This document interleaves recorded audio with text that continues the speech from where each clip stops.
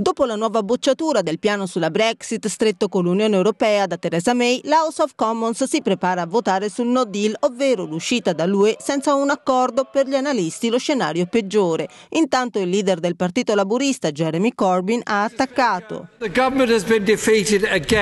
governo è stato di nuovo sconfitto da un'enorme maggioranza e deve accettare che l'accordo che ha sottoposto la Premier è chiaramente morto e non gode del sostegno di questa Camera, ha detto Corbyn, parlando alla Camera dei dei comuni dopo che i deputati hanno respinto le proposte con 391 voti contrari e 242 favorevoli. A gennaio l'accordo era stato bocciato 202 a 432. Il tempo della primo ministro si è concluso e forse è tempo di andare a elezioni anticipate affinché la gente possa scegliere da chi vuole essere rappresentata, ha aggiunto Corbyn. Dopo la bocciatura, May ha annunciato.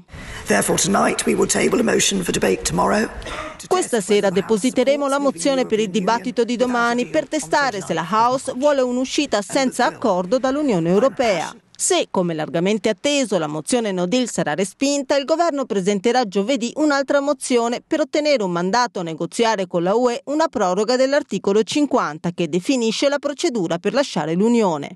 Intanto la Gran Bretagna ha annunciato che taglierà alcune tariffe doganali e lascerà invariati i controlli al confine con l'Irlanda in caso di mancato accordo sulla Brexit dopo il 29 marzo.